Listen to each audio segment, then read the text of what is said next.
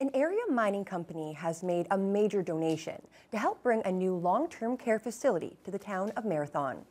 Barrick Gold has given $1 million to the North of Superior Healthcare Group's Families Closer to Home campaign. That's propelled the fundraising effort more than halfway to its $2 million goal, with about 1.4 million raised so far. The money is to help support the construction of the $14.2 million Marathon long term care project. To recognize Barrick's contribution, the facility will now be known as Barrick Care. It's going to be a physically attached wing to the hospital, uh, similar to what we have in our Terrace Bay Hospital. Uh, small long-term care. It's probably going to be the smallest long-term care home in the province with uh, just 14 beds, uh, but meeting all the modern standards that the Ministry of Long-Term Care uh, requires of us.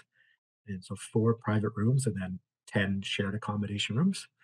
And what you would expect in a, in a typical long-term care home around recreation areas and dining areas, um, a spiritual facility, a chapel kind of facility, um, physiotherapy space, Construction is now underway and the facility is expected to open in spring or summer of 2025.